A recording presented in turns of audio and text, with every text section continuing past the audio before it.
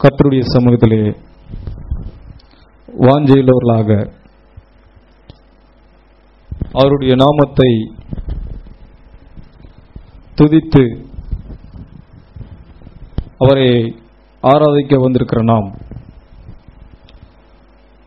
நம்முடைய இருதயத்தை எல்லாம் ஆராய்ந்திருக்கிற தேவனை ஆராதிக்க கூடி வந்திருக்கிற நாம் நிச்சயமாகவே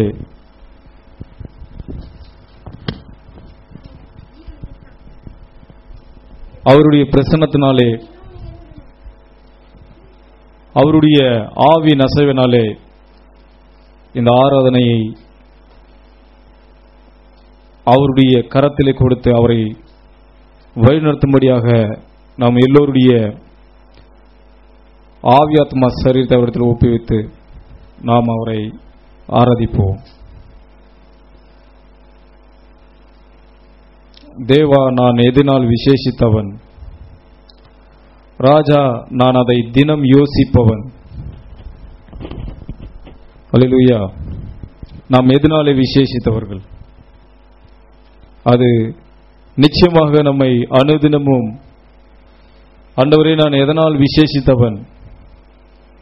அதை நான் யோசித்துக் கொண்டே இருக்கிறேன். என்று நம்முடைய வாழ்க்கையிலே ஒவ்வொரு கணமும் நாம் அவரை குறித்து எண்ணங்களிலே நாம் இருக்கிறோம். நாம் பாடுவோம். தேவா நான் எதினால் விசேஷித்தவன். தேவா நான் எதினால் விசேஷித்தவன். ராஜா நான் அதை தினம் யோசிப்பவன். தேவா நான் ஏதினால் விசேஷித்தவன். ராஜா நானாதை தீனம் யோசிப்பவன். ஏதினால் இது ஏதினா நீர் என்னோடு வருவதினா ஏதினா இது ஏதினா நீர் என்னோடு வருவதினா தேவா நானே தினால் விசேஷித்தவன். ராஜா தினம் யோசிப்பவன். மேகஸ்தம்பம் மேலிருந்து பாதுகாக்குது. பாதை காட்ட பகல் எல்லாம் கூட செல்லுது. மேகஸ்தம்பம் மேலிருந்து பாதுகாக்குது. பாதை காட்ட பகல் எல்லாம் கூட செல்லுது. அன்பான தேவன் என்னோடு வருவார். அது போதும் என் வாழ்விலே. அன்பான தேவன் என்னோடு வருவார். அது போதும் என் வாழ்விலே. தேவா நான் ஏதினால் விசேஷித்தவன். ராஜா நான் தினம் யோசிப்பவன். ஏதினால் இது ஏதினா நீர் என்னோடு வருவதினா. ஏதினால் இது ஏதினா நீர் என்னோடு வருவதினா. தாகம் கொண்ட தேவ ஜனம் வானம் பார்க்குது.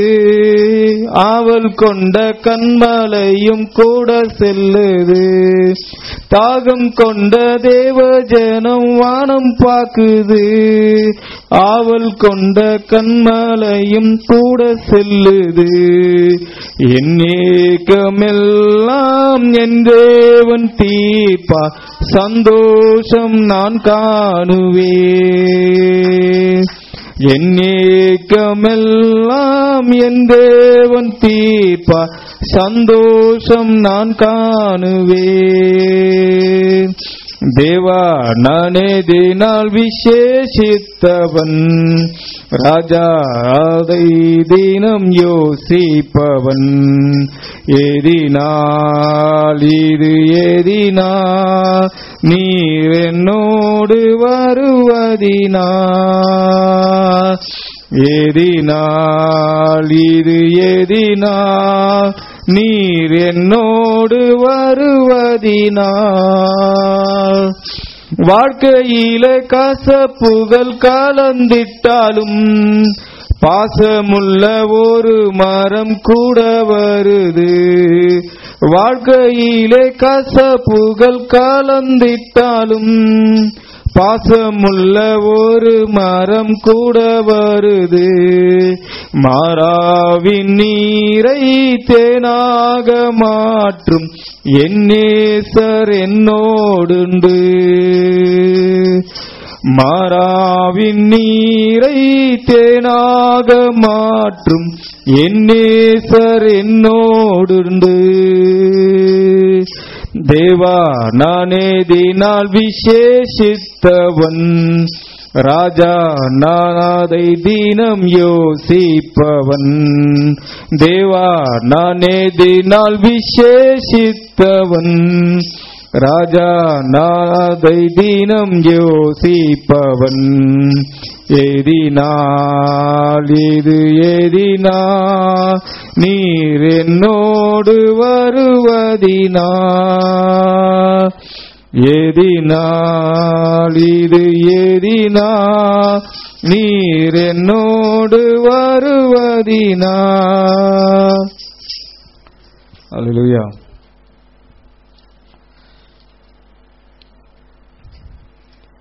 நம்முடைய வாழ்க்கையிலே இயேசு எவ்வளவு நல்லவராக இருக்கிறார். அவர் என்றென்றும் மாறாதவராக இருக்கிறார். அல்லேலூயா இயேசு நல்லவர் இயேசு வல்லவர் என்றென்றும் மாறாதவர்.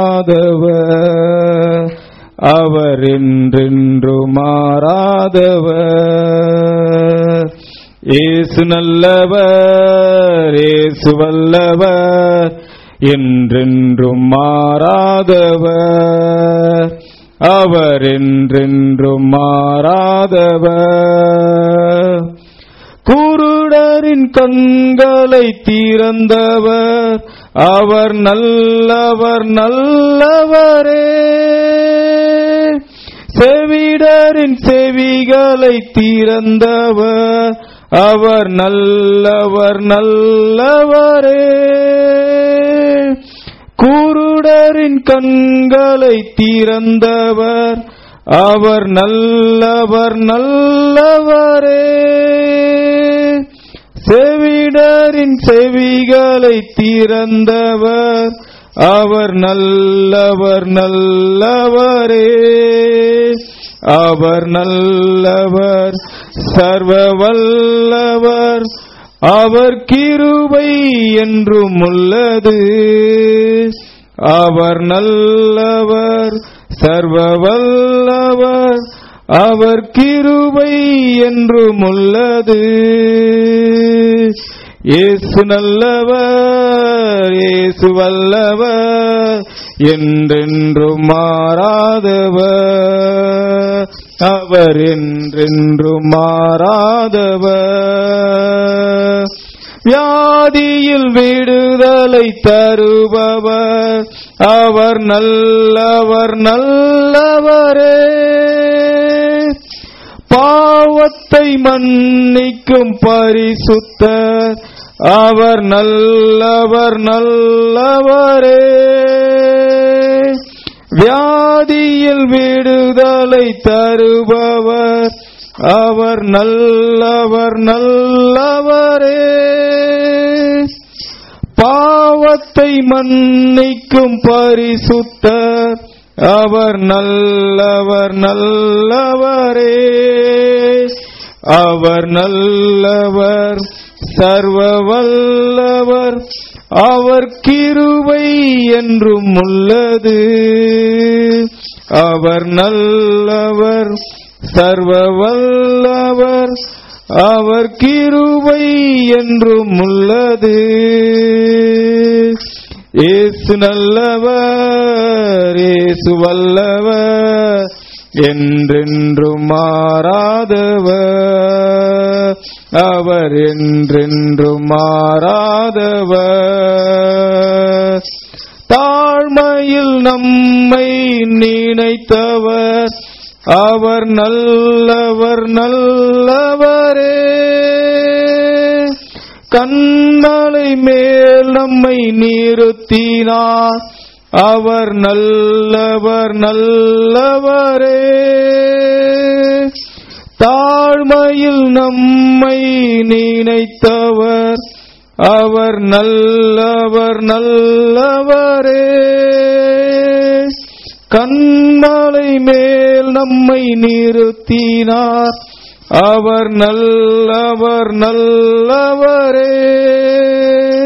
அவர் நல்லவர் சர்வ வல்லவர்.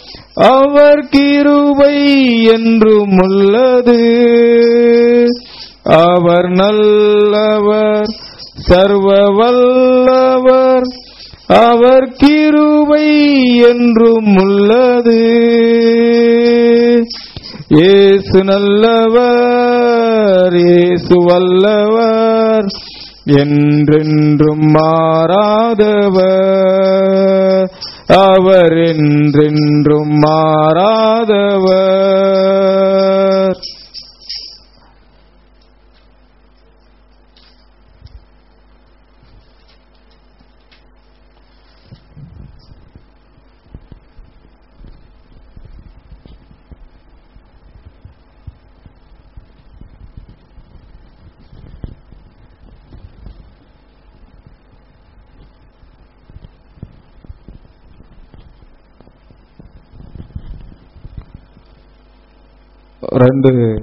ஜப வினப்பு வந்திருக்குது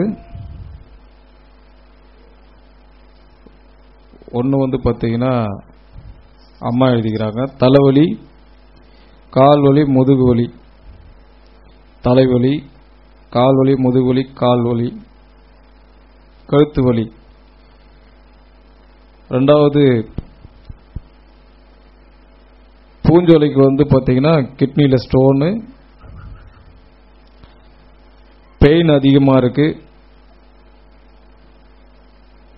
அதிகமாக அவங்களுக்கு பெயின் இருக்கிறதா சொல்லியிருக்கிறாங்க. நாம் ஜெபம் செய்வோம்.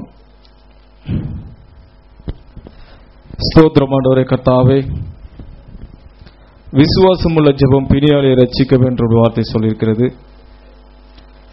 கத்தாவே இதோ வைக்கப்பட்ட ஜப விண்ணப்பங்களை கருத்தில் பற்றி ஜெபிக்கிறோம். ஆமாண்டவரே கர்த்தாவே நீர் கூட மனித சரீரத்தில் இருக்கப்படும் போது உம்மிடத்தில் ஒரு விண்ணப்பம் வரும்பொழுது அந்த விண்ணப்பம் வைக்கக்கூடிய நபர்களை பார்த்து நீர் கேட்டீர். நீ விசுவாசிக்கிறாயா? நீ விசுவாசித்தால் உன் விசுவாசத்தின்படியே ஆக கடுவது என்று நீ சொல்லியிருக்கிறீர்.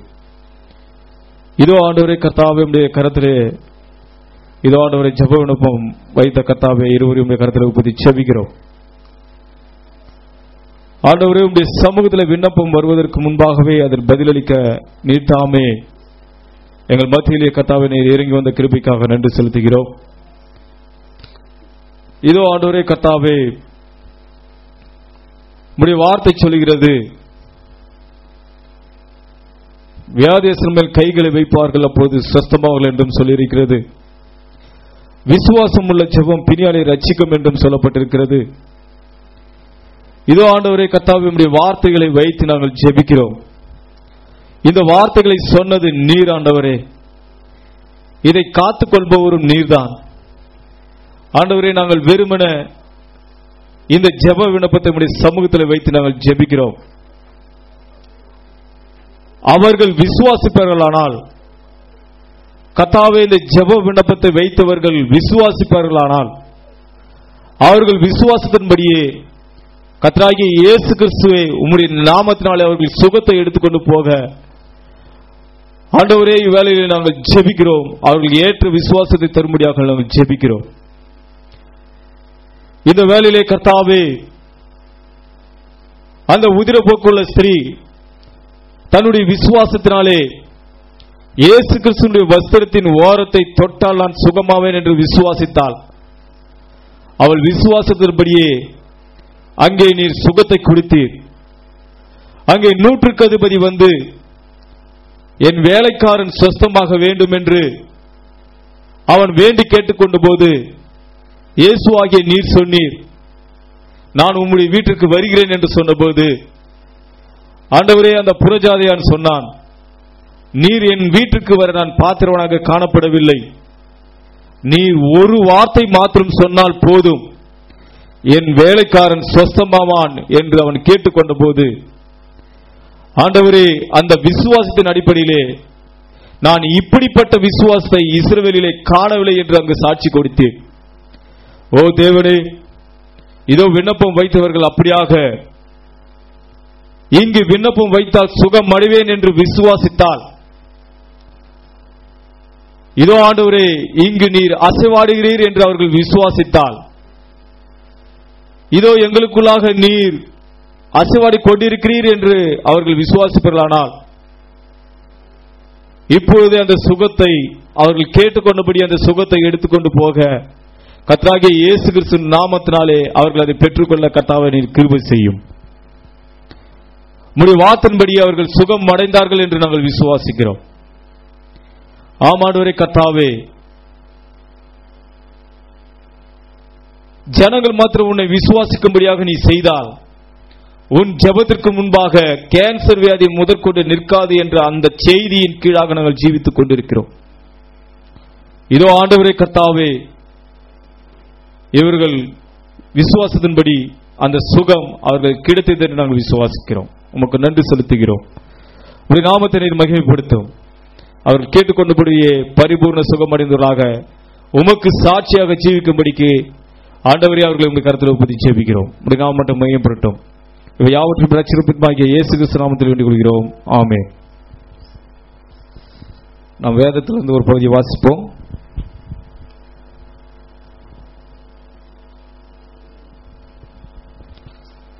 பழைய ஏற்பாட்டிலே எழுநூத்தி முப்பதாவது பக்கம். சங்கீதம் தொண்ணூத்தி அஞ்சு எட்டிலிருந்து பதினோரு வசனங்களை வாசிப்போம். பழைய ஏற்பாட்டில் எழுநூத்தி முப்பது பக்கம் தொண்ணூத்தி அஞ்சாவது சங்கீதம் எட்டிலிருந்து பதினோரு வசனங்களை வாசிப்போம். இன்று அவருடைய சத்தத்தை கேட்பீர்களாகில் வனாந்தரத்தில் கோபம் மூட்டினது போதும் சோதனை நாளிலும் நடந்தது போல உங்கள் இருதயத்தை கடினப்படுத்தாதீங்கள் அங்கே உங்கள் பிதாக்கள் என்னை சோதித்து என்னை பரீட்சை பார்த்து என் கிரியையும் கண்டார்கள். நாற்பது வருஷமாய் நான் அந்த சந்ததியை அரோசித்து அவர்கள் வழுவி போகிற இருதயமுள்ள ஜனங்கள் என்றும் ஜனம் என்றும் என்னுடைய வழிகளை அறியாதவர்கள் என்றும் சொல்லி என்னுடைய இடைப்பார்தலில் அவர்கள் பிரவேசிப்பதிலே இல்லை என்று என்னுடைய கோபத்திலே ஆணையிட்டேன். நாம் கண்களை மூடி ஜபம் செய்வோம். கத்தாவை இது வாசிக்கப்பட்ட வேத வசனங்களை ஆசிரித்தாரும் உம்முடைய தூதனாகிய வில்லியன் மரியின் பிரணம் மூலமாக நீர் கொடுத்த கத்தாவே வார்த்தையின் வியாக்கணங்களை கத்தாவே நாங்கள் புசிக்கவும். ஆண்டவரே இந்த காலத்தை அறிந்து இந்த காலத்தில் எங்களுக்கு என்று தீர்க்கதரிசி மூலமாக நீ திருவுளம் பற்றின காரியங்களை கத்தாவே நாங்கள் அறிந்து கொண்டு இந்த நாட்களில் நான் நடக்க வேண்டிய நடக்கையை நடந்து உம்முடைய சமூகத்தில் நாங்கள் பரிபூர்ணமாக கடந்து வரத்தக்கதாக எங்கள் ஒவ்வொருவரும் கருத்தில் ஒப்புதி செபிக்கிறோம். இதுக்கு எதிரடியாக கிரியை செய்கிற ஒவ்வொரு அந்தகார பிசாசுகளையும் வானமண்டல பொல்லாத ஆவிகளையும் அசுத்த ஆவிகளையும் கத்தராக இயேசு கிறிஸ்து நாமத்தில் கட்டி செபிக்கிறோம். உம்முடைய நாம் மட்டும் மகிழ்படட்டும் ஆராதனை துவக்கு முதல் முடிவு மட்டும் உம்முடைய பரிசுத்தாவை தாமை எங்களை வழிநடத்த முடியாக எங்கள் ஒவ்வொருவரும் கருத்தில் ஒப்புதி ஜெபிக்கிறோம் உடைய நாம் மட்டும் மையப்படுத்தும் இயேசு கிறிஸ்து நாமத்தில் வேண்டி விடுகிறோம் ஆமே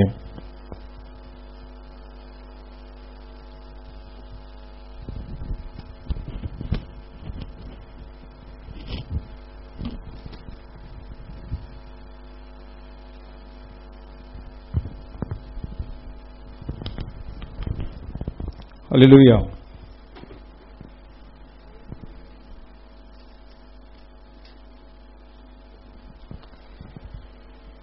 தேவன் மெய்யாகவே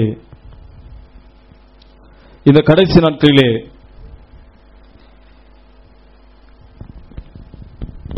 இந்த கடைசி நிமிடத்தில் நாம் வாழ்ந்து கொண்டிருக்கிற இந்த வேளையில் தேவன் அவருடைய கிருபையினாலே நம்மை எப்படியாக பாதுகாத்துக் கொண்டு வருகிறார்? நிச்சயமாகவே தேவன் பெரியவராக இருக்கிறார். அல்லேலூயா.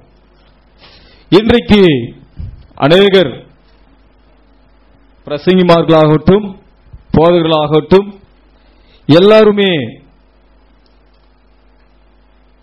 இன்றைக்கு ஒரு வியாதி இந்த பூமியை தாக்கி கொண்டிருப்பதை குறித்து அநேகர் ஒரு வியாதி ஒன்று தாக்கிக் கொண்டிருக்கிறது என்று அநேகர் சொல்லிக் கொண்டிருக்கிறார்கள்.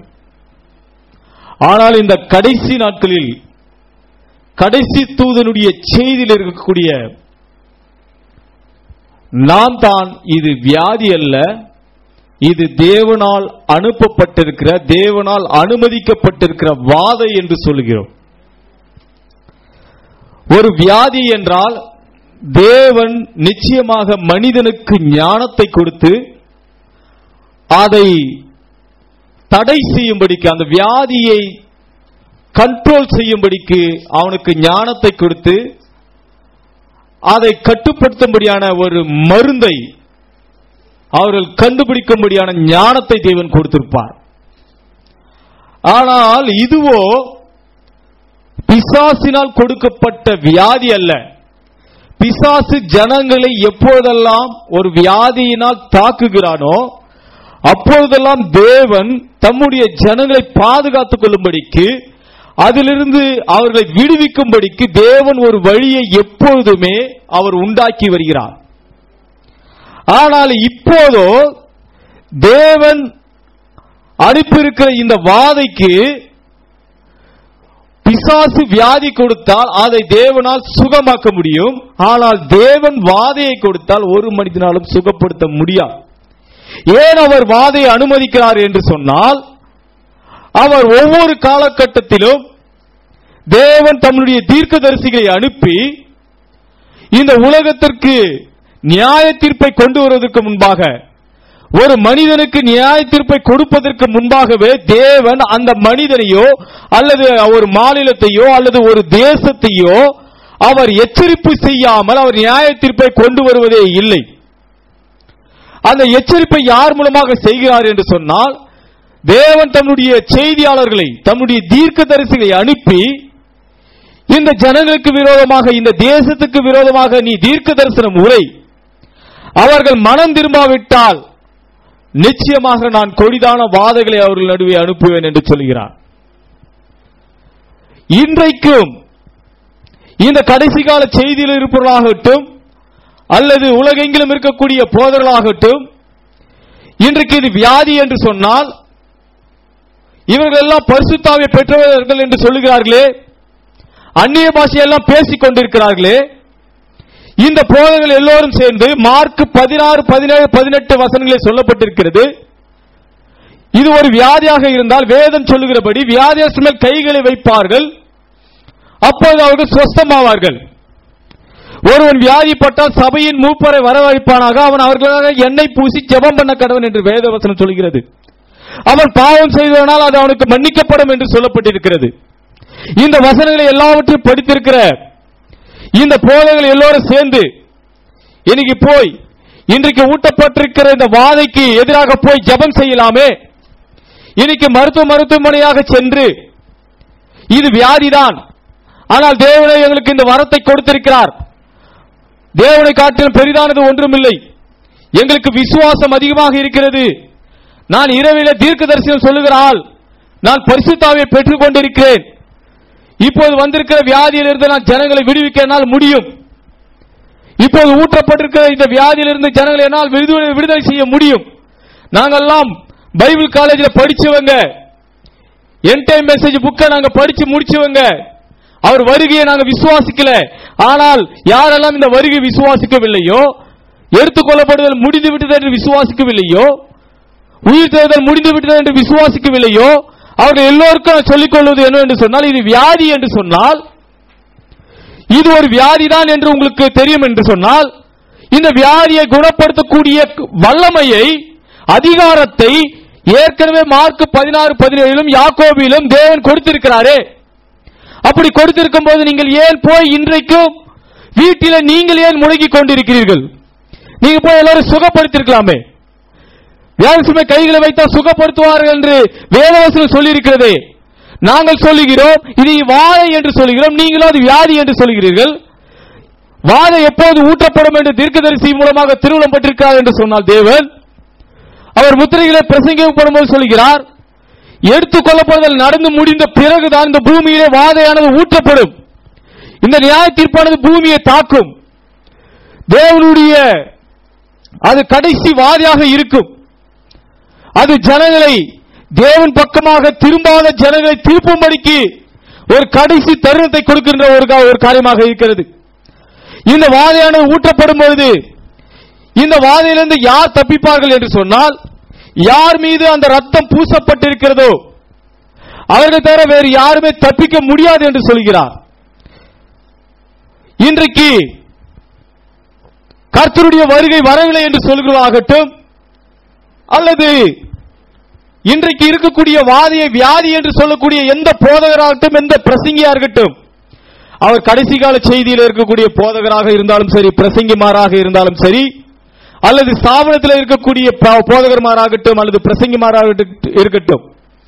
யாராக இருந்தாலும் இது வியாதி என்று சொல்லக்கூடிய நபர்கள் அந்நிய பாஷை பேசக்கூடிய நபர்கள் தீர்க்க தரிசனம் சொல்லக்கூடிய நபர்கள் என்னை தவிர ஒரு போதகன் இந்த பூமியிலே இல்லை என்று சொல்லக்கூடியவர்கள் என்னை போல ஒரு பிரசங்கர் இந்த பூமியிலே இல்லை என்று சொல்லக்கூடியவர்கள் நான் தான் பெரிய பிரசங்கி.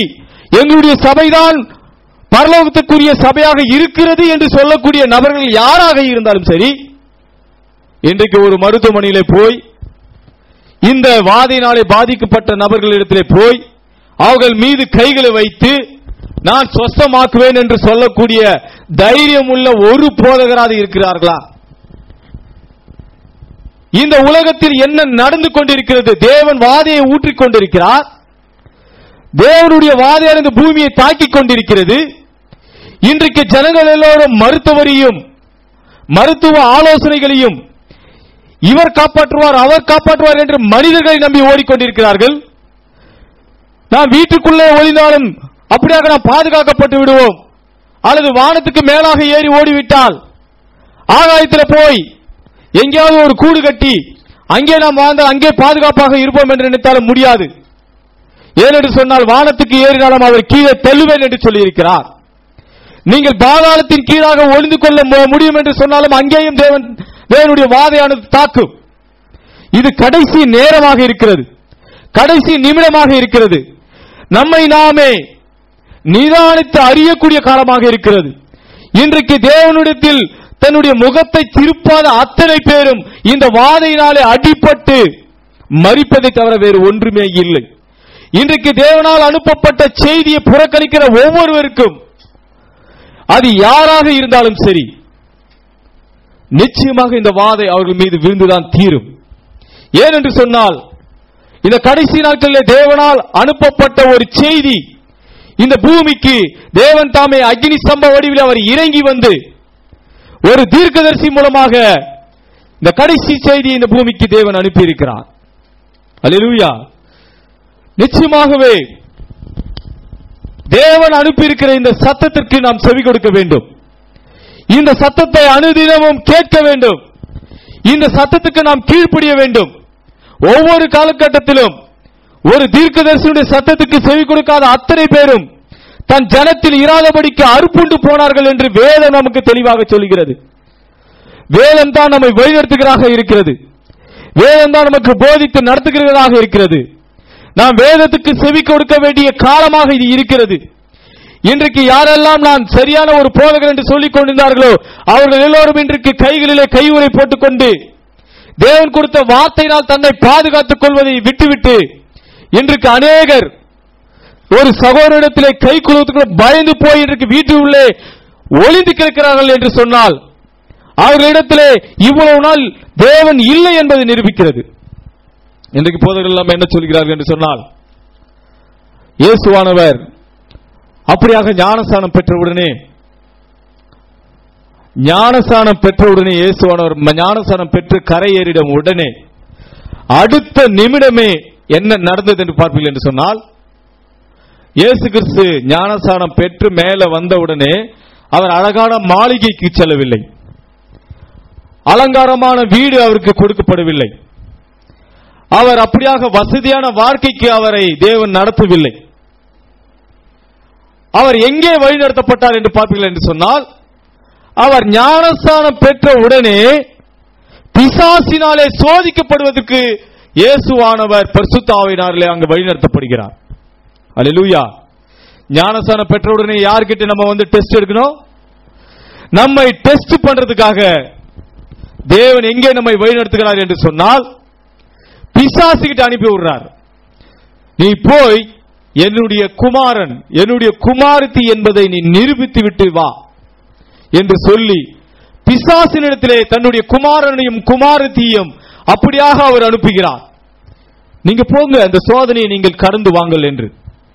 நாம் ஞானசானம் பெற்றவுடனே தேவனாலே அங்கீகரிக்கும்படிக்கு தேவனுடைய பிள்ளைகளாக நாம் ஒரு அங்கீகாரம் வாங்கும்படிக்கு ஒரு ஊர்ஜிதத்தை ஒரு அங்கீகாரத்தை ஒரு அடையாளத்தை நாம் பெற்றுக்கொள்ளும்படிக்கு நாம் பிசாசினாலே சோதிக்கப்படுவதற்கு நம்மை அப்படியாக தேவன் வழிநடத்துகிறார். அலிலூயா இயேசு கிறிஸ்து அப்படியே போகும்போது அன்னைக்கு பிசாசு வந்து சோதிக்கிறான். நீ மட்டும் என்னை தாழ பணிந்து கொண்டால். நான் உனக்கு என்ன தருவேன் தெரியுமா? இந்த உலகத்தில் இருக்கிற எல்லா பொக்கிஷங்களும் தருகிறேன். இந்த உலகத்தில் இருக்கக்கூடிய எல்லா காரியத்தையும் உனக்கு தருகிறேன். நீ கொஞ்சம் பைபிளை எடுத்துக்கோ. கொஞ்சம் உலக பிரகாரமா நடந்துக்கோ. நீ வேதத்தை படி நான் வேணான்னு சொல்லல. ஆனா அதுல பைத்தியமாயிடாத நீ ஜெபி. ஏதோ ஒரு அஞ்சு நிமிஷம் ஜெபி. ஒரு மணி நேரம்லாம் ஜெபிச்சு நீ பைத்தியக்காரன் ஆயிடாத. நீ ஒரு சின்ன ஜெபமே பண்ணு. நான் உனக்கு எல்லாத்தையும் தரேன். உனக்கு என்னென்ன வேணுமோ எல்லாத்தையுமே தரேன். உனக்கு உலகத்தில் இருக்கிற எல்லா சந்தோஷத்தையும் தரேன். ஜாலியா இரு. ஆனா நீ ஒன்னே ஒண்ணுதான் செய்யணும். எனக்கு மட்டும்தான் செவி கொடுக்கணும். நான் உன்னை பைபிள் படிக்க கூடாதுன்னு சொல்லல. ஆனால் நீ என்னுடைய கட்டுப்பாட்டுக்குள்ளாக இருந்தால்தான் இவை எல்லாமே உனக்கு கிடைக்கும். நீ என்னை தாழ பணிந்து கொள். பிசாசு என்ன சொன்னா? நீ என் கிட்ட வந்தனா உனக்கு எல்லாத்தையும் நான் தருவேன். உலகத்தில் இருக்கிற எல்லா பொக்கிஷங்களும் தருவேன். நீ என்னுடைய சபைக்கு வந்தனா உனக்கு எல்லாத்தையும் தரேன். ஆசீர்வாதம். நீங்கள் சபைக்கு வாருங்கள். நீங்கள் சபைக்கு மாத்திரம் வந்துடுங்கள் என்று சொன்னால் ஒரு பைபிள் எடுத்துட்டு நீ என் சபைக்கு மட்டும் வந்துட்டா போதும். ஆண்டவர் உன்னை ஆசீர்வதிப்பார். என் சபைக்கு வந்தவங்கள பார். சைக்கிள்ல வந்தவன் கார்ல போறான். கார்ல வந்தவன் பெரிய பங்களால உக்காந்துக்கிறான். காரணம் என்ன? தேவன் கொடுத்துக்கிறார். தேவன் ஆசீர்வதிச்சுக்கிறார் இவ்வளவா உனக்கு எல்லாத்தையும் கொடுத்திருக்கிறார். அதுதான் நீ அங்க பிசாசு செய்து கொண்டிருந்தான் இயேசு இயேசுனிடத்தில் பிசாசு என்ன சொன்னா நீ மட்டும் என்னை தாழ பணிந்து கொண்டால் இந்த பூமியில் இருக்கிற எல்லா பொக்கிஷத்தையும் உனக்கு தருவேன். உலகத்தையும் உலகத்தின் மகிமையும் உனக்கு தருவேன். நீ செய்ய வேண்டியது ஒன்னே ஒண்ணுதான். தாழ என்னை பணிந்து கொள். அதே பிசாசு தான் இன்றைக்கு சபையை கட்டிக்கொண்டு அந்த சபையில என்ன சொல்லுது? நீ ஏன் சபைக்கு வந்த நான் உன்னை ஆசீர்வாதமா வச்சுப்பேன்? உனக்கு கார் பங்களா கிடைக்கும். பெரிய வசதி கிடைச்சிடும் தேவன் பார் என் சபைக்கு வந்து எல்லாரும் பெரிய பெரிய பணக்காரன் ஆயிட்டாங்க. பார் ஒரு குறைவே இல்ல. நீங்க தேவனுடைய குமாரனும் குமார்த்தி உங்களுக்கு எல்லா வசதியும் கிடைச்சிடும் சொன்னாங்க. பிசாசு கிட்ட இருந்து இயேசு கிறிஸ்து அப்படியாக அந்த சோதனை எல்லாம் கடந்து பிசாசை ஜெயம் கொண்டு அப்படியாக அவர் வந்தபோது அவர் ஊழிய செய்ய ஆரம்பிக்கிறார். அவர் ஊழிய செய்ய ஆரம்பிக்கும் போது அவர்கிட்ட ஒருத்தன் நித்திய ஜீவன் பெறுவதற்காக நான் என்ன செய்ய வேண்டும்னு ஒருத்தன் கேட்க வந்தான். யாருக்கிட்ட இயேசு கிட்ட வந்து நான் நித்திய ஜீவன் பெறுவதற்கு ஆண்டவரே நல்ல போதகரே நான் நித்திய ஜீவன் பெறுவதற்கு என்ன செய்ய வேண்டும் அப்படின்னு கேட்டான். நித்திய ஜீவன் வேணும்னா நீ முதல்ல செய்ய வேண்டியது என்ன தெரியுமா? உனக்குள்ளது எல்லாவற்றையும் விற்று தரித்திரனுக்கு கொடுத்துட்டு ஒன்னும் இல்லாத பிச்சைக்காரனா பின்னாடி வா. தன்னைத்தானே வெறுத்து தன் சிலுவை எடுத்துக்கொண்டு என்னை பின்பற்ற கடவுன்னு சொல்லிட்டார். அங்க பிசாசு நான் சொல்றான்? ஒன்னும் இல்லாதவங்களாம் என்கிட்ட வாங்க நான் உங்களை பணக்காரனாக்கி விடுறேன்றான். ஏசு நான் சொல்றாரு? நீ ஏன் பின்னாடி வரணும்னா உனக்குள்ளது எல்லாத்தையும் விட்டுட்டு நீ ஒண்ணு இல்லாதவனா வரணும்னு சொல்லிட்டார். அல்லா ஜனங்கள் எதை விரும்புவார்கள் இன்றைக்கு? ஜனங்கள் எதை விரும்புவார்கள்? ஒரு சபைக்கு சென்றால் தனக்கு ஐஸ்வர்யம் வருகிறதே அந்த சபையின் பின்னால் போவார்களா? அல்லது இயேசு சொன்னாரே உனக்கு உள்ளது எல்லாவற்றையும் விற்று தரித்திரத்தை கொடுத்து விட்டு ஒன்றும் இல்லாதவனா ஒரு பிச்சைக்கார நிலைமையா இருந்து உன்னுடைய பாடுகளை சுமந்து கொண்டு உன்னுடைய சிலுவையை சுமந்து கொண்டு என் பின்னாடி நீ பாரத்தை தான் சுமந்துன்னு வரும் சொன்னாரே இயேசு அவர் பின்னால வருவாங்களா? அல்லேலூயா. இன்றைக்கு பிசாசு எங்கே இருக்கிறான் என்று தெளிவாக காண்பிக்கிறான். அன்னைக்கு இயேசுவிடத்தில் நான் உலகத்தையும் உலகத்தின் மகிமையும் கொடுப்பேன் என்று சொன்னானே அந்த பிசாசு இன்னைக்கு போதகராக வடிவிலே வந்து நின்று கொண்டிருக்கிறான் பிரசங்க பீடத்திலே. பிரசங்க பீடத்தில் நின்று கொண்டு என்ன சொல்கிறான்? நீ நம்முடைய சபைக்கு வா நிச்சயமாக கர்த்தர் உன்னை ஆசீர்வதிப்பார் என்று சொல்லிக்கொண்டு அங்கே பிசாசு அந்த சபையிலே பிரசங்க பீடத்திலே ஒரு போதகனாக வேஷம் தரித்து நின்று கொண்டிருக்கிறான். ஒரு பிரசங்கியாக அங்கே வேஷம் தரித்து நின்று கொண்டிருக்கிறான். இங்கே ஒரு பிரசங்கியார் சொல்லுகிறார். ஒரு போதகர் சொல்லுகிறார் உனக்குள்ள யாவற்றையும் விட்டு தரித்திரத்துக்கு கொடுத்து விட்டு என் பின்னே வா. நீ உன்னைத்தானே வெறுக்க வேண்டும். தேவனுடைய வார்த்தைக்கு நீ செவி கொடுத்தாக வேண்டும். தேவனுடைய ஒவ்வொரு வார்த்தைக்கும் நீ செவி கொடுத்தாக வேண்டும். நீ ஒன்றையும் மறுதளிக்க கூடாது. நீ அப்படியாக உன்னை நீயே வெறுக்க வேண்டும். உன்னிடத்தில் இருக்கக்கூடிய குணாதிசயங்கள் மாற வேண்டும்.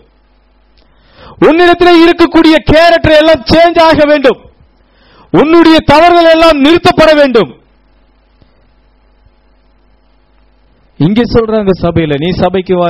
ஞாயிற்றுக்கிழமைனா கரெக்டா வந்துரு. அந்த காணிக்கை போட்டியில காணிக்கை போட்டுரு. தசமபாகத்தை சரியா கொடுத்துரு. நீ சபைக்கு எப்படி வேணாலும் வரலாம். நாள் பூரா எப்படி வேணாலும் வாழ்ந்துட்டு எங்க வேணாலும் சுத்திட்டு எப்படிப்பட்ட வாழ்க்கை ஒன்னாலும் வாழ்ந்துட்டு நீ வா. எனக்கு அதை பத்தி கவலை கிடையாது. எனக்கு அதை பத்தி கவலை கிடையாது. சபையில எண்ணிக்கை குறையக்கூடாது. சபையில எண்ணிக்கை குறையக்கூடாது.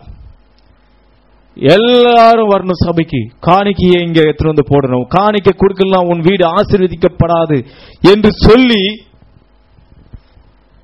ஜனங்களை வஞ்சித்து அப்படியாக இயேசுனிடத்திலே எந்த பிசாசு பேசினானோ அதே பிசாசு தான் இயேசு கிறிஸ்தனுடைய உண்மையான தேவனுடைய பிள்ளைகளை வஞ்சிக்கும்படிக்கு ஒரு சபையின் போதகனாகவோ பிரசங்கியாகவோ அங்கு நின்று கொண்டிருக்கிறான் ஆனால் இயேசுவோ எளிமையாக அவர் ஜனங்கள் எல்லோராலும் வெறுக்கப்பட்டவராக ஜனங்கள் எல்லோராலும் புறம்பே தள்ளப்பட்டவராக அப்படியாக தேவன் அங்கே வீதியிலே நடமாடிக் கொண்டிருந்தவராக இருந்தார். அவரிடத்தில் போய் நித்திய ஜீவன் பெறுவதற்கு நான் என்ன செய்ய வேண்டும் என்று கேட்டபோது அவர் சொன்ன வார்த்தை உனக்குள்ள யாவற்றையும் விட்டு தரித்திரத்துக்கு கொடுத்து விட்டு போ. என் பின்னாடி நீ வரணும். இல்லை என்றால் நீ என்னை பின்பற்ற முடியாது என்று சொல்லிவிட்டார் அலிலுயா இதை யார் நேசிப்பார்கள்? இதை யார் நேசிப்பார்கள்? அலிலுயா அந்த பூமியில இரண்டு அடையாளங்கள் கொடுக்கப்பட்டிருக்கிறது. ஒன்று உலகத்தின்படி ஜீவித்தால் நாம் உப்புத்தூணாகத்தான் மாறி போவோம் என்று இன்றைக்கும் அங்கே இஸ்ரவேலிலே ஒரு உப்புத்தூண் இன்றைக்கு நின்று கொண்டிருக்கிறது. இன்றைக்கு ஒரு உப்புத்தூண் அங்கே லோத்தினுடைய மனைவி உப்புத்தூணாக மாறி இன்றைக்கும் அது அடையாளமாக கொடுக்கப்பட்டிருக்கிறது. இந்த உலகத்தையும் உலகத்தில் உள்ளவைகளையும் நாம் இச்சித்துக் கொண்டிருந்தால் இந்த உலகத்தையும் உலகத்தினுடைய சுபாவத்தோடு நாம் ஒன்றி போகிக் கொண்டிருந்தால் இந்த உலகம் நம்மை நடத்துகிறபடி நாம் அப்படியாக நம்மை இலகுவாக்கி உலகத்தின் பின்னால் நாம் வாழ்ந்து கொண்டிருப்போம் என்று சொன்னால் இந்த கடைசி நாட்களிலே நமக்கு அடையாளமாக அந்த உப்புத்தூண் இன்றும் நின்று கொண்டிருக்கிறது.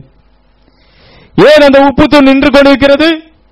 நீங்கள் உலகத்திலும் உலகத்தில் உள்ளவைகளிலும் நீங்கள் அன்பு கூறாது இருக்க வேண்டும் என்று சொல்லி. அல்லேலூயா. இன்றைக்கு மற்றொரு அக்னி சமம் நின்று கொண்டிருக்கிறது. ஒன்று நியாய தீர்ப்பாக இருக்கிறது.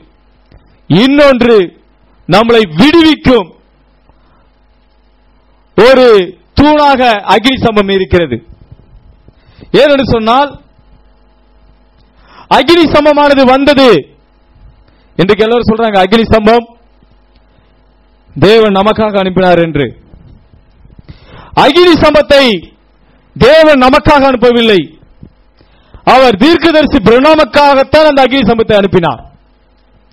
தேவன் நமக்காக அனுப்பவில்லை. மோசைக்காகத்தான் அன்றைக்கு எரிகிற முச்சடியிலே மோசைக்காகத்தான் அந்த அகிலி சம்பம் வந்து நின்றது. ஆனால் அந்த ஜனங்களுக்கோ மோசை தான் முக்கியமாக இருந்தது. மோசைக்கு அடையாளம் அகிலி சம்பமும் அடிமைத்தனத்தில் இருந்த இஸ்ரேல் ஜனங்களுக்கு அடையாளமாக மோசேயும் இருந்தார் ஜனங்கள் மோசையை தான் பின்பற்ற வேண்டியவர்களாக இருந்தார்கள். ஆனால் மோசையோ அக்னி சம்பத்தை பின்பற்றுகிறவனாக இருந்தான். அதனால்தான் பவுல் இங்கே சொல்லுகிறார் நான் கிறிஸ்துவை பின்பற்றுவது போல நீங்கள் என்னை பின்பற்றுவர்களாகுங்கள் என்று. அலிலுயா நான் கிறிஸ்துவை பின்பற்றுவது போல நீங்கள் என்னை பின்பற்றுங்கள். அங்கே அவன் சொன்னான் வேதவசனம் என்று சொல்கிறது இன்று அவருடைய சத்தத்தை கேட்பீர்களாகில். இன்று அவருடைய சத்தத்தை கேட்பீர்களாகில். அவருடைய சத்தம் முதலாவது அந்த எரிகிற முச்சடியிலே அவருடைய சத்தம் நேரடியாக பேசியது. அந்த நேரடியாக பேசின சத்தம் அது மோசையிடத்தில் தான் பேசினது. அப்படியாக மோசையிடத்தில் பேசப்படும் போது அந்த சத்தமானது மோசைக்குள்ளாக வந்து மோசே அந்த சத்தமாக மாறி போனான் மோசே அந்த அக்னி சமம் அல்ல. மோசே யாருடைய சத்தத்தை கேட்டானோ அந்த சத்தமாக அவன் மாறி போனான் அலிலுயா அந்த மோசே அப்படியாக ஜனங்களிடத்தில் பேசப்படும் போது அது மோசையினுடைய சத்தம் அல்ல. அந்த மோசையிடத்தில் பேசின அகிலி சம்பத்தின் சத்தமாக அவன் அங்கே இருந்தான்.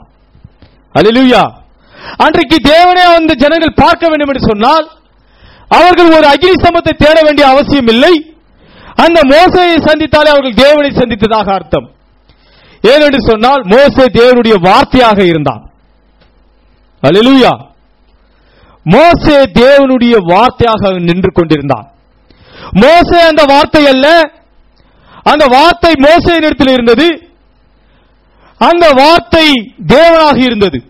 அல்லேலூயா. அந்த ஜனங்கள் மோசைக்கு செவி கொடுப்பது அது தேவனுக்கு செவி கொடுத்ததுக்கு சமமாகும். என் வசனத்தை கேட்டு என்னை அனுப்புற விசுவாசியவனுக்கு நித்திய ஜீவன் உண்டு என்று இயேசு சொன்னார். என் வசனத்தை கேட்டு என்னை அனுப்புறவனுக்கு விசுவாசிக்கிறவனுக்கு நித்திய ஜீவன் உண்டு. அல்லேலூயா. அங்கே அதுதான் நடந்தது. மோச என்ன சொன்னான் என்று சொன்னால் நீங்கள் என் வசனத்தை கேட்க வேண்டும். நீங்கள் என் வசனத்தை கேட்டு என்னை அனுப்பினாரே அக்னி சம்பவம் அவரை நீங்கள் விசுவாசிக்க வேண்டும் என்று சொன்னார் அல்லேலூயா. அதேதான் இங்கே தீர்க்கதரிசி வில்லியன் மரியன் பிரணாமும் சொன்னார். நான் அந்த அக்னி சம்பத்தை முகமுகமாக சந்தித்தேன். அந்த தேவனை நான் சுழல் காட்டிலே சந்தித்தேன். அந்த சாயங்கால வெளிச்சத்தை நான் பார்த்தேன். அந்த கர்த்தருடைய தூதனை நான் சந்தித்தேன். நீங்களோ என் வார்த்தைக்கு செவி கொடுங்கள். என் வசனத்தை கேட்டு என் செய்தியை கேட்டு என்னை அனுப்புற விசுவாசங்களுக்கு நித்திய ஜீவன் உண்டு. அலிலூயா இன்றைக்கு தீர்க்கதரிசி வில்லியன் மரியம் பெனாமின் செய்தியை கேட்டு அவரை அனுப்புற விசுவாசங்களுக்கு நித்திய ஜீவன் உண்டு. மோசையை போல ஒரு தீர்க்கதரிசியை தேவன் அனுப்பி இருக்கிறார் அலிலுயா மோசையை போல ஒரு தீர்க்கதரிசி நமக்கு. மோசையை போன்ற ஒரு தீர்க்கதரிசி.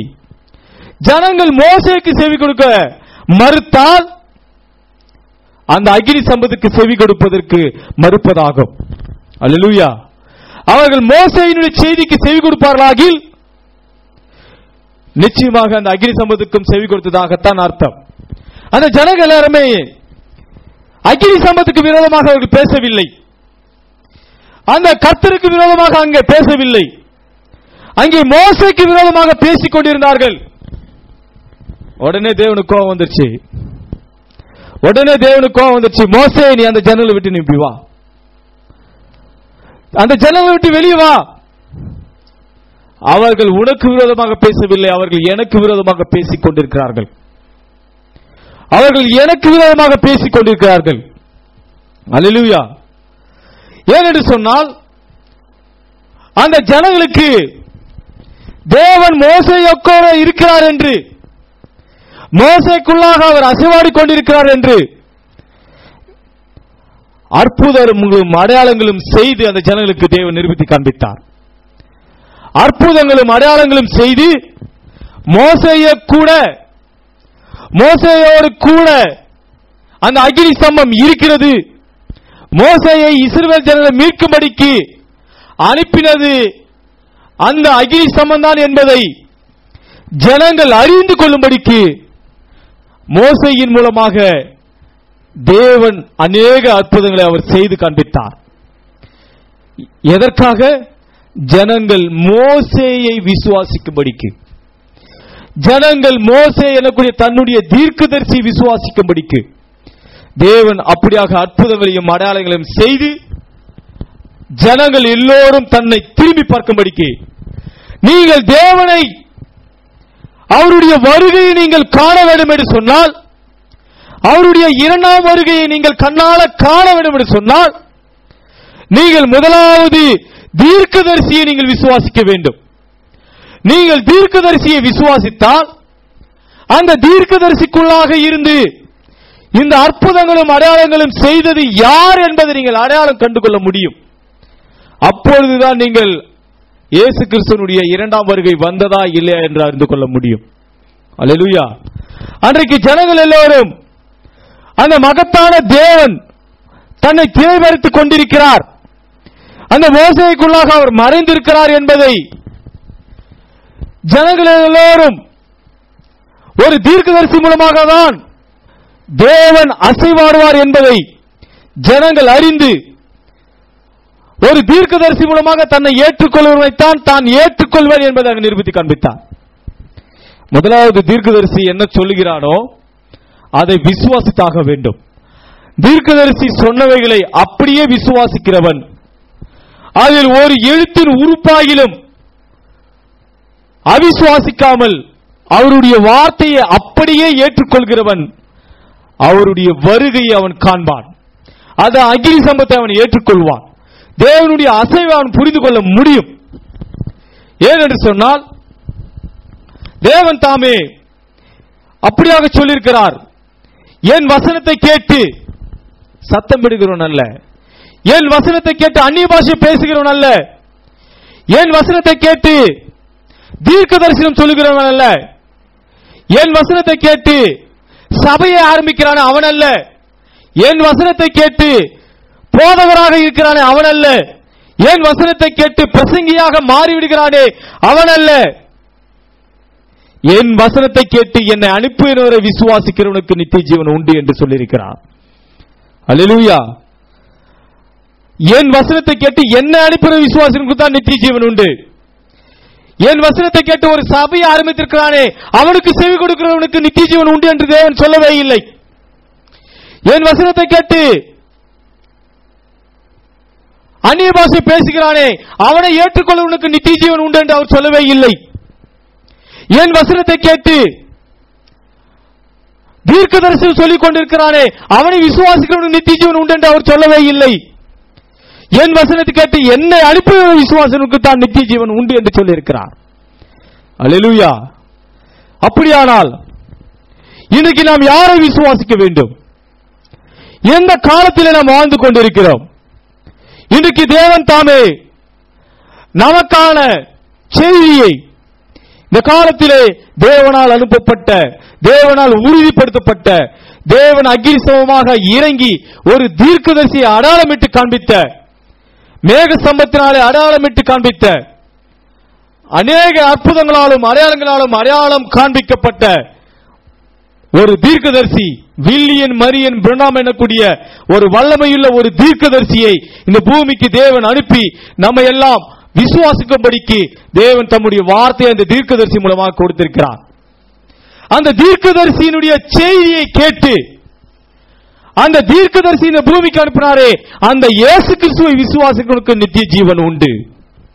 அலிலுயா தீர்க்கதரிசியினுடைய செய்தியை கேட்டு அந்த செய்தியை அனுப்பின அந்த அகில சமத்தை விசுவாசனுக்கு நித்திய ஜீவன் உண்டு. அலிலுயா ஏனென்று சொன்னால் தேவன் இந்த கடைசி நாட்களிலே நம்ம எல்லாம் நம்ம எல்லாம் பாவத்திலிருந்து மீட்டெடுத்த தேவனுக்கு கல்லறையிலிருந்து உயிரோடு எழுப்ப முடியாதா என்ன? அலலுயா பாவத்திலிருந்து மீட்டெடுத்த நம்ம எல்லாம் பாவத்திலும் அக்கிரமத்திலும் உழண்டு கொண்டிருந்த நம்மை எல்லாம் மீட்டெடுத்த தேவனுக்கு நம்மை கல்லறையிலே போட்டு புதைப்பார்கள் என்று சொன்னால் அதிலிருந்து அவரால் விடுவிக்க அவர் வல்லவராக இருக்கிறார். அலுவயா பாவத்திலிருந்து மீட்டவருக்கு நாம் இந்த சரீரத்திலிருந்து வேறொரு சரீரத்திலிருந்து போவதற்கும் தேவனால் கூடும். அலுவயா ஏனென்று சொன்னால் விசுவாசிக்கு ஒரு காரியத்தை கொடுத்திருக்கிறார். என்னை விசுவாசிக்கிறவன் அவன் ஆக்கிரிக்கு உட்படுத்தப்படாமல் மரணத்தை விட்டு நீங்கி ஜீவனுக்கு உட்பட்டிருக்கிறான். யாருக்கு அவர் சொல்லியிருக்கிறார்? தன்னை விசுவாசிக்கிறவனுக்கு அவர் சொல்லியிருக்கிறார். தன்னை விசுவாசிக்கிறவனுக்கு என்ன அடையாளத்தை அவர் கொடுத்திருக்கிறார்?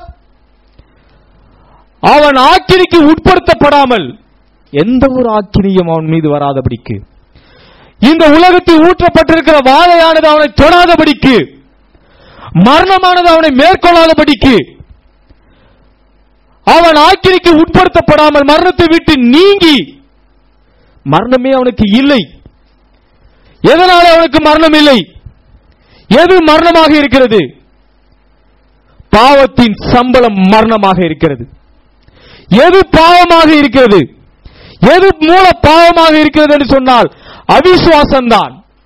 தேவனை விசுவாசிக்காமல் இருப்பதே தேவனுடைய வார்த்தையை விசுவாசிக்காமல் இருப்பதே. இந்த கடைசி நாட்களில் தேவனால் அனுப்பப்பட்ட ஒரு தீர்க்கதரிசியினுடைய செய்திக்கு வார்த்தைக்கு செவி கொடாப்ப செவி கொடுக்காமல் இருப்பதே அவிசுவாசமாக இருக்கிறது. அதுதான் பாவத்தின் தன்மையாக இருக்கிறது. திருடுதலோ பொய் சொல்லுதலோ புகைப்பிடித்தலோ விபச்சாரம் செய்வதிலோ பாவம் அல்ல பாவம் என்பது தேவனுடைய வார்த்தை அவிசுவாசிப்பதுதான். இவை எல்லாமே பொய் சொல்வது திருடுவது இவை எல்லாமே அது பாவத்தின் தன்மைகளாக இருக்கிறது. அது வார்த்தையை விசுவாசிக்காதனாலே தான் அந்த தன்மைகள் உள்ளே இருக்கிறது. நாம் தேவனுடைய வார்த்தையை நாம் விசுவாசிப்போம் என்று சொன்னால் நிச்சயமாக அந்த பாவத்தின் தன்மைகள் நம்மை விட்டு வெளியே போய்விடும்.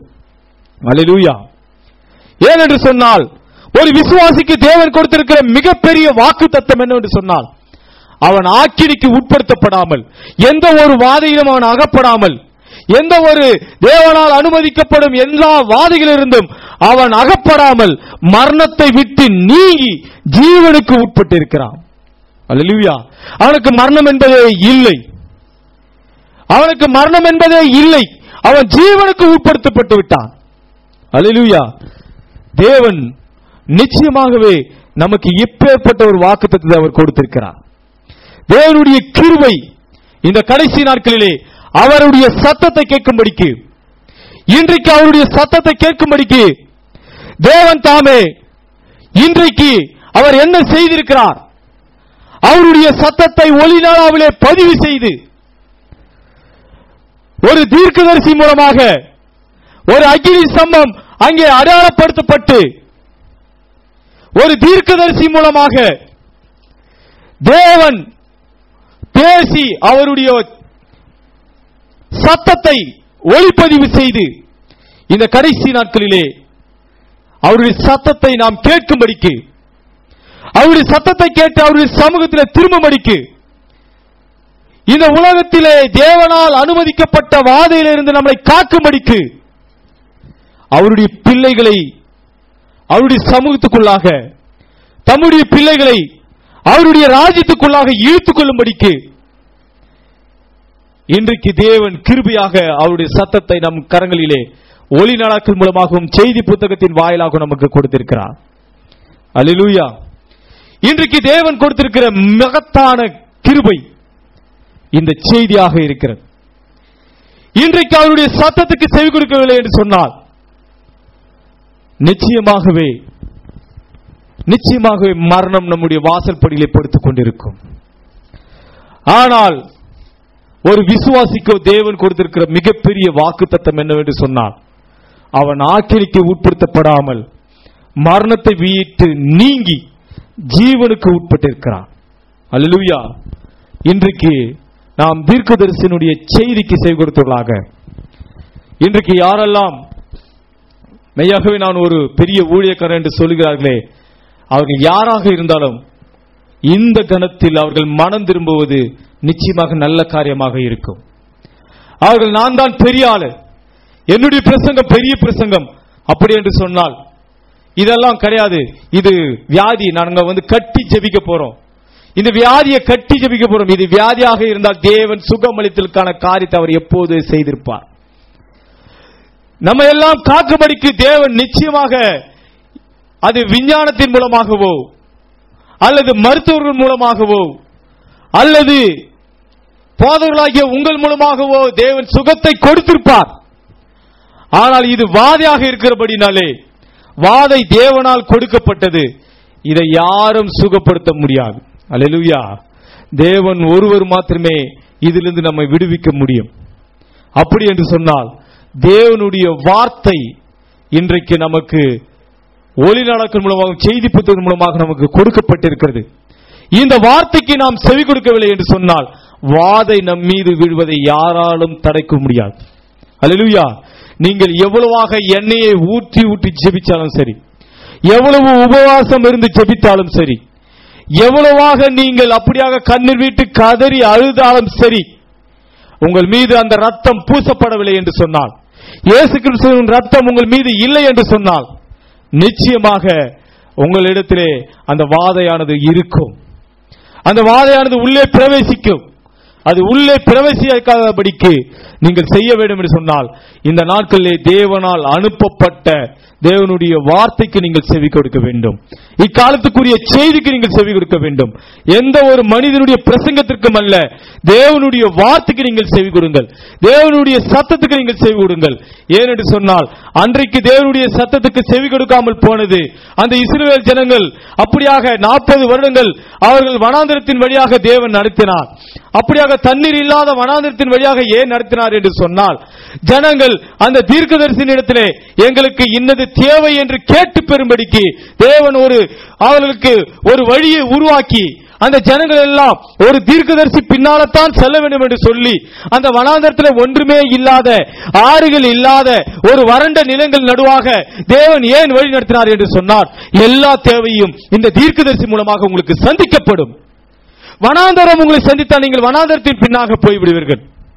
வனாந்தரத்தில் தண்ணீர் இருந்தால் நீங்கள் தண்ணீரின் பின்னாக நீங்கள் சென்று விடுவீர்கள் அதனால தான் வனாந்தரத்தின் வழியாக தண்ணீர் தடாகம் இல்லாத அந்த வழியின் வழியாக ஏன் நடத்தினார் என்று சொன்னால் அவர்களுக்கு என்ன தேவையாக இருந்தாலும் அந்த தீர்க்க தரிசனத்தில் போய் கேட்பார்கள் என்று சொன்னால் அங்கே அவனுக்கான வழி இருக்கும்.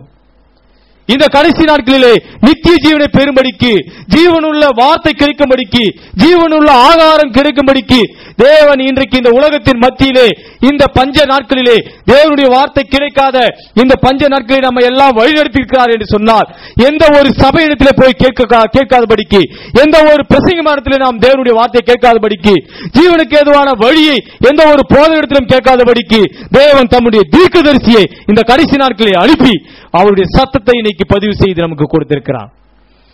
ஏன் என்று சொன்னால் நாம் யார் பின்னாலையும் போகக்கூடாது. யாரையுமே நாம் முன்னுதாரணமாக எடுத்துக்கொள்ளக்கூடாது. நமக்கு கிறிஸ்துவே நமக்கு முன்னுதாரணமாக இருக்கிறார். இயேசு கிறிஸ்துவே நமக்கு முன்னுதாரணமாக இருக்கிறார். அவருடைய வார்த்தையினால் பிழைக்கும்படிக்கு தான் தேவன் தம்முடைய தீர்க்கதரிசி மூலமாக தம்முடைய வார்த்தையை கொடுத்திருக்கிறார் இந்த ஒளிநாடக்கள் மூலமாக. இந்த ஒளிநாட சத்தத்துக்கு செவி கொடுக்காதவன் தன் ஜனத்தில் இராதபடிக்கு அறுப்புண்டு போவான். இன்றைக்கு இந்த கடைசி கால தீர்க்கதரிசி சத்தத்துக்கு செவி கொடுக்காதவன் இந்த கடைசி நாட்களில் தன் ஜனத்தில் இராதபடிக்கு அறுப்புண்டு போவான் என்று தேவனுடைய வார்த்தை சொல்லி இருக்கிறது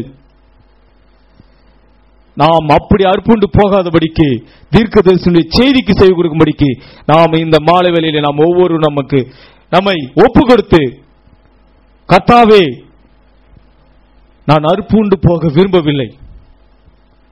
இந்த வார்த்தைக்கு நான் செவி கொடுக்கிறேன். இந்த வார்த்தைக்கு நான் முற்றிலுமாக கீழ்ப்படுகிறேன். எது வந்தாலும் எது எப்படி போனாலும் சூழ்நிலை எப்படிப்பட்டதாக இருந்தாலும் நீர் வனாந்தரத்தின் வழியாக நடத்தினாலும் எங்களுக்கென்று ஒரு கண்மலையை நீர் அங்கே நிறுத்தி வைத்திருக்கிறீர்.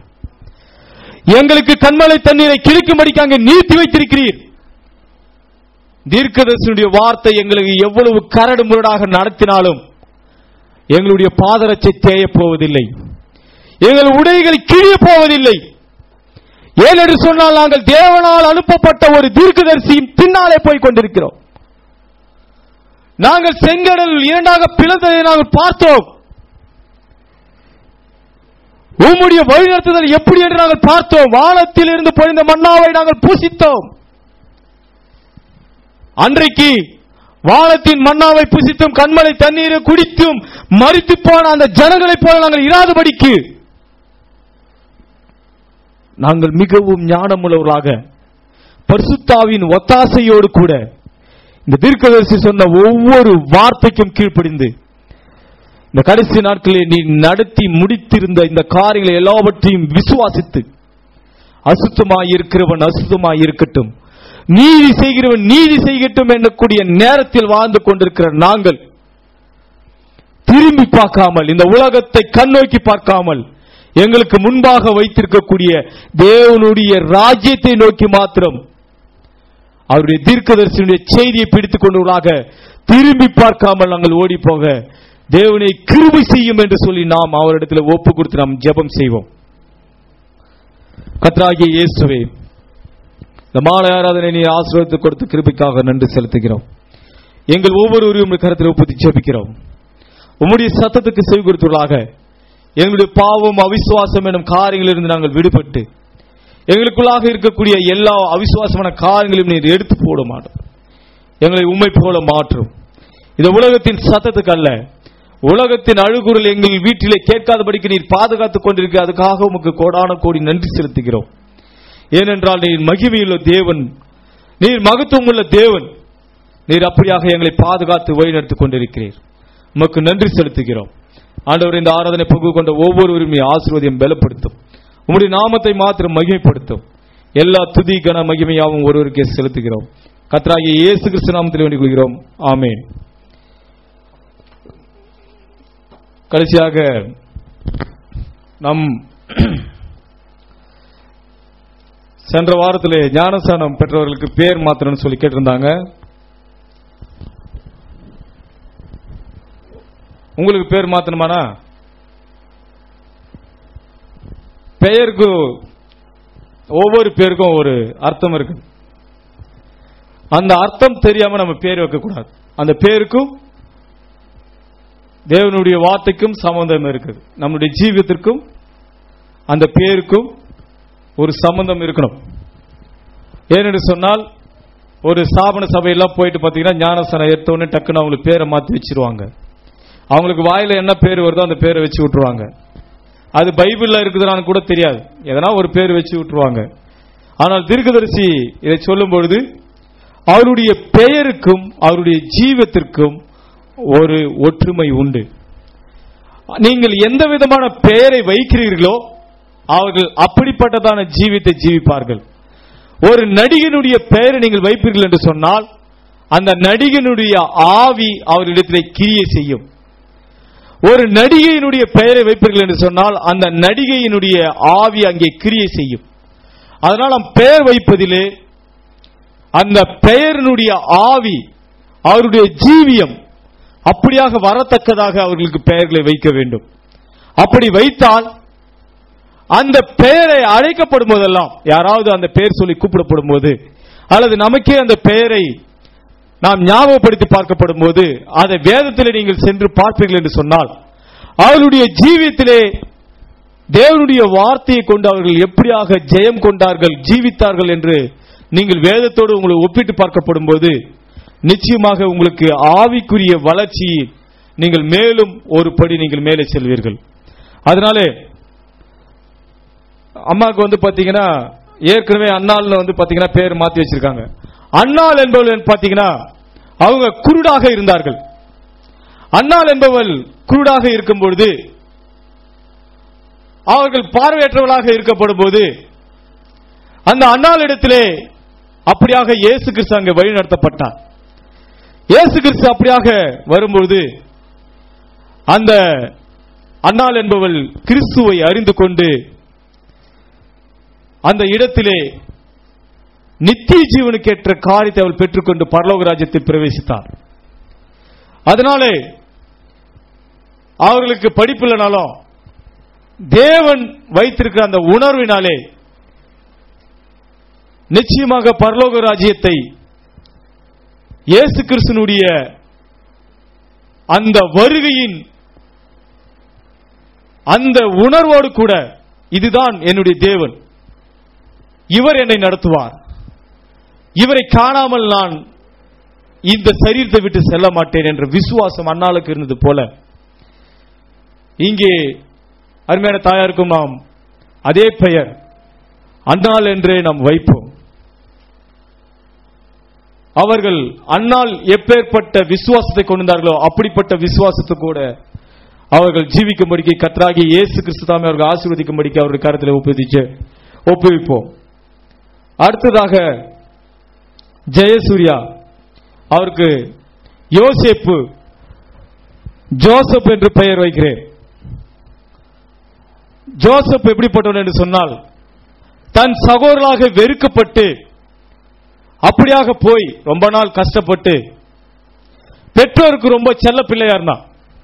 அப்படிப்பட்ட செல்ல பிள்ளை அடிமைத்தனத்திற்கு விற்கப்பட்டு ரொம்பவும் கஷ்டப்பட்ட பிறகு தேவன் அவனோடு கூட இருந்தபடினாலே அவனுடைய மீதியான வாழ்க்கையை தேவன் அந்த பார்வோனுக்கு அடுத்தபடியாக உட்காரும்படிக்கு தேவன் கிருபை செய்தார். அவன் அடிமைத்தனத்திலிருந்து ஒரு ராஜாவாக அங்கு அமர்ந்ததை நாம் பார்க்கிறோம். அவன் செழிப்பின் குமாரனாக அவனுடைய ஜீவியம் மாறினதை நாம் பார்க்கிறோம். அப்படியாக அவனுடைய வாழ்க்கை இருக்கும்படிக்கு அவனுக்கு ஜோப்சப் என்று பெயர் வைக்கிறேன். அடுத்ததாக ரூபன் தாஸ் அவருக்கு சிம்சோன் என்று பெயர் வைக்கிறேன். சிம்சோன் என்றால் அவன் பராக்கிரமசாலி என்று அர்த்தம். அவனுடைய ஆரம்ப காலகட்டத்திலே சிம்சோன் மிகுந்த பராக்கிரமசாலியாக இருந்தான்.